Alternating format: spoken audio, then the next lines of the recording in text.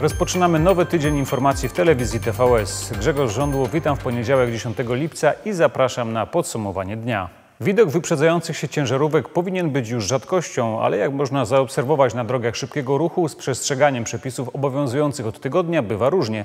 Choć i tak jest lepiej niż przed wprowadzeniem zakazu. Jak wygląda teraz jazda ciężarówką i obok ciężarówki, o tym Łukasz Kądziołka.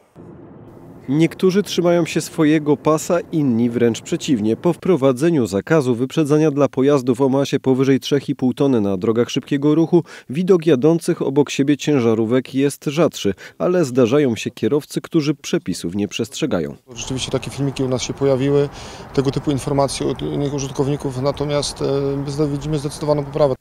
Nagrania pojawiły się nie tylko z dróg w województwie śląskim. Już 4 lipca autostradę A2 pod kątem łamania zakazu obserwowali z drona policjanci. W ciągu kilku godzin ujawniono aż 33 wykroczenia. Jak wyjaśnia policja, przepis ma na celu przede wszystkim poprawić bezpieczeństwo na autostradach i drogach ekspresowych. Chcemy przedciąć e, kolokwialnie nazywany wyścig słoni, czyli wyprzedzanie się przez pojazdy ciężarowe z bardzo niewielką różnicą prędkości na bardzo długim odcinku e, trasy, a co za tym idzie, i tu zajmuje to długi czas E, właśnie podjęcie tego manewru, jak i wykonanie tego manewru, e, co w konsekwencji powoduje spiętrzenie się samochodów Zdaniem kierowców ciężarówek wcale nie jest bezpieczniej. Żadnego zagrożenia nie stwarzało wyprzedzanie, nie? W jednym kierunku wszyscy jedziemy, a teraz co, będzie yy, bezpiecznie na zwykłych drogach, jak ciężarówka wyprzedza? No, nie sądzę. Niektórzy obawiają się, że w ciągu 4,5 godziny, a tyle bez przerw może jechać zawodowy kierowca ciężarówki, nie dojadą tam, gdzie zwykle.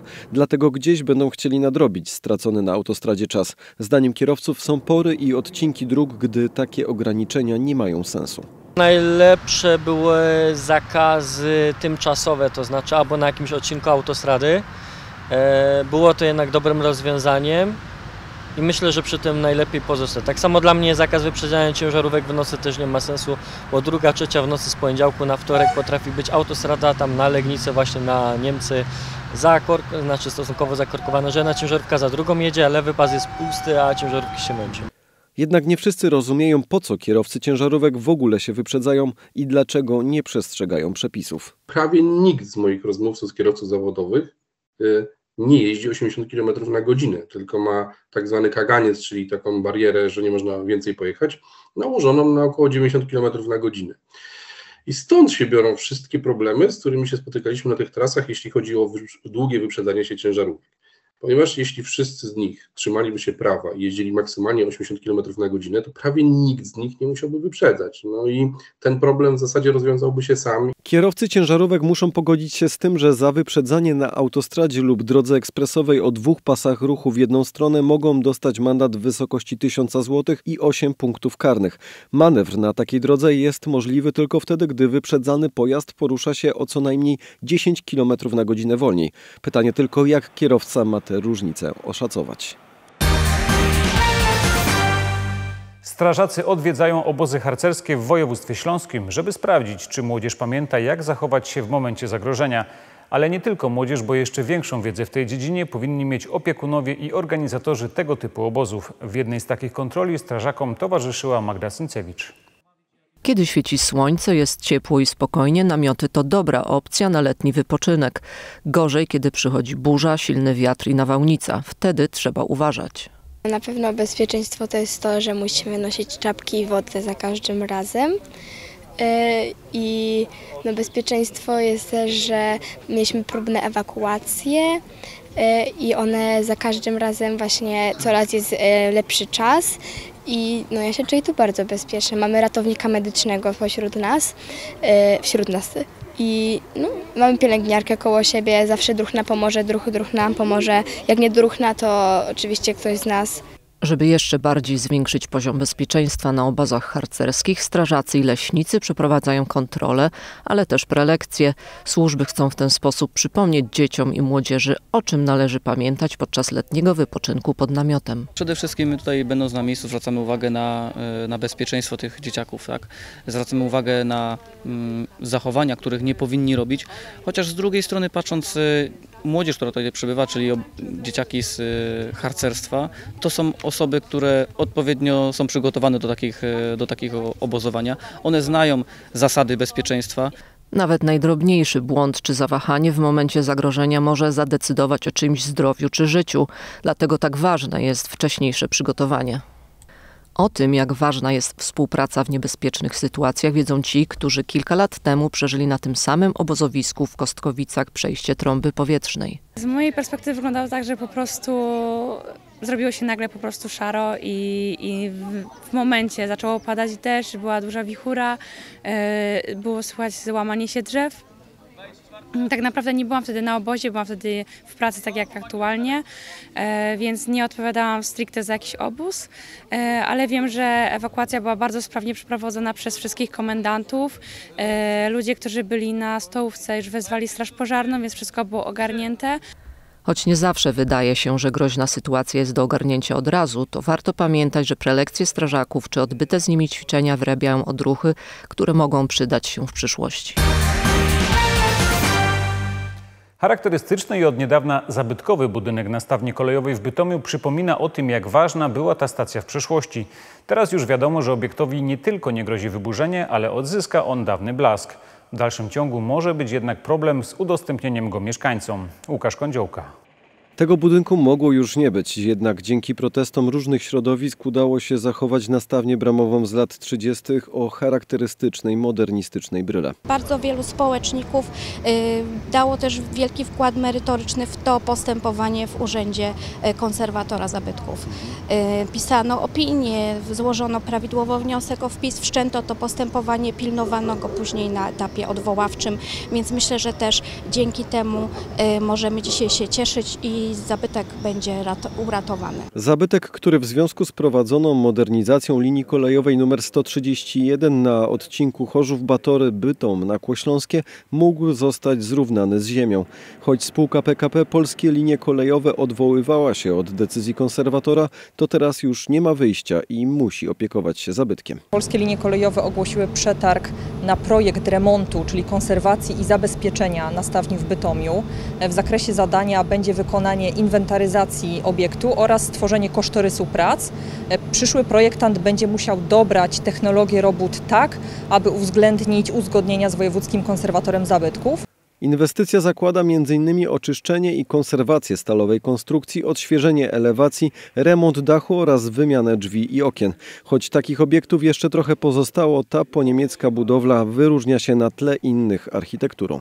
Chcieliśmy w szczególności tą jedną jako przykład y, pewnych rozwiązań technicznych z epoki, co w międzywojnie akurat było, zachować.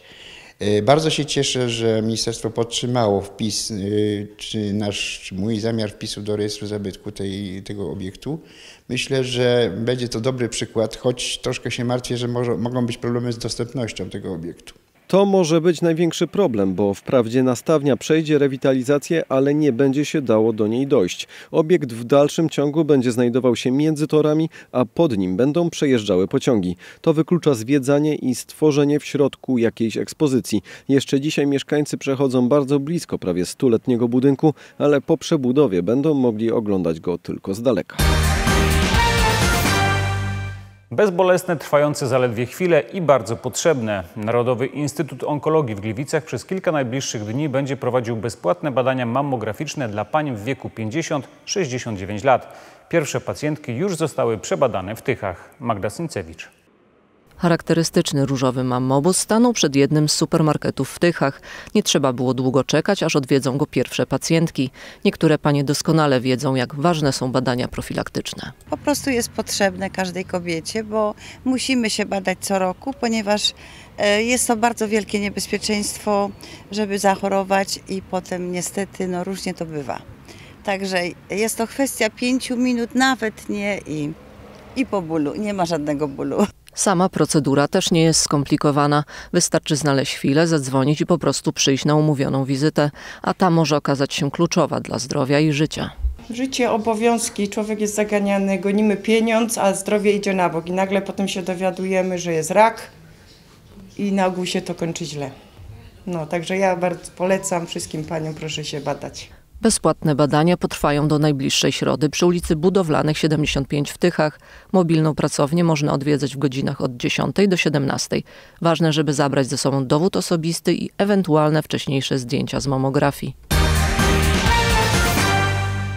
Uczelnie kształcące studentów na kierunkach medycznych łączą siły. Wszystko po to, by podnosić standardy i wspólnie starać się o granty. W poniedziałek porozumienie o współpracy podpisali rektorzy Akademii Śląskiej prowadzącej kierunek lekarski w Zabrzu i Uniwersytetu Jana Długosza w Częstochowie, gdzie funkcjonuje Collegium Medicum. Fatima Orlińska.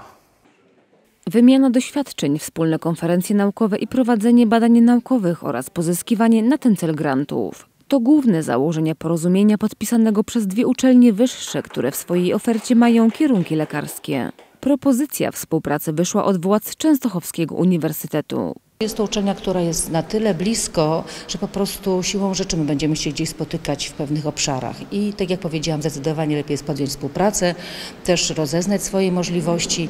Teraz wydaje się, że w takim zakresie samodzielnie uczelnia może niewiele zdziałać. Jeżeli wchodzi w skład konsorcjum, to wtedy ma zdecydowanie większą siłę. Akademia Śląska, która jako jedna z pierwszych prywatnych uczelni wyższych uruchomiła kierunki medyczne z dużym entuzjazmem odpowiedziała na propozycję Częstochowy, ponieważ upatruje w niej szans na rozwój naukowy, a w konsekwencji kształcenie na wyższym poziomie. W planach są już pierwsze konkretne projekty. Będzie wymiana na pewno dobrych praktyk. To przełoży się, wracając do Pani pytania, na pewno na tą e, pracę dydaktyczną ze studentem. Zarówno jedna, jak i druga uczelnia prowadzą kierunek lekarski. Uczelnie chętnie zawiązują konsorcjum, bo w ten sposób mogą również upowszechniać wyniki swoich badań naukowych. Chodzi też o to, by kształcić więcej lekarzy specjalistów, których w Polsce brakuje. Między innymi dlatego, że medycyna jest kierunkiem trudnym. Ale najtrudniejszym problemem, i to nie tylko w Polsce, proszę Państwa, to jest kadra. Kadra jest czymś, co jest y, na wagę złota. Znalezienie kogoś, kto jest y, dobrą, dobrym dydaktykiem, dobrym specjalistą i poproszenie go o to, żeby przyjmował, jest bardzo trudne. Współpraca pomiędzy uczelniami ma się rozpocząć natychmiast, ale jej pierwsze efekty mają być widoczne w nowym roku akademickim. Taki był poniedziałek w informacjach. Już teraz zapraszam na jutrzejsze wydania o stałych porach. Do zobaczenia.